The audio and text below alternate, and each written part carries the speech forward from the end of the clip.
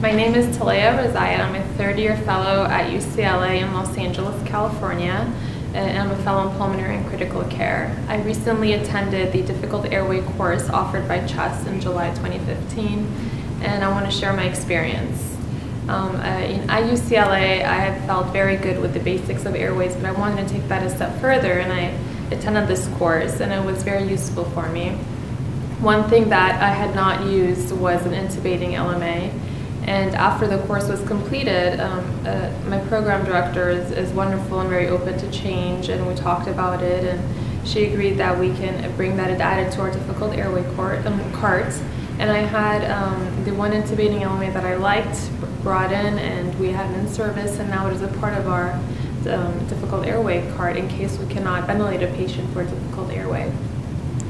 Additionally, we um, uh, learned about a checklist um, among many things during the course, and I really liked that. It helped just take what I knew and put it in a systemic um, form so I can use it um, when I'm dealing with difficult situations that don't go as planned. And I shared that with my co-fellows, and I'm hoping that um, everyone else will be able to take advantage of it as well.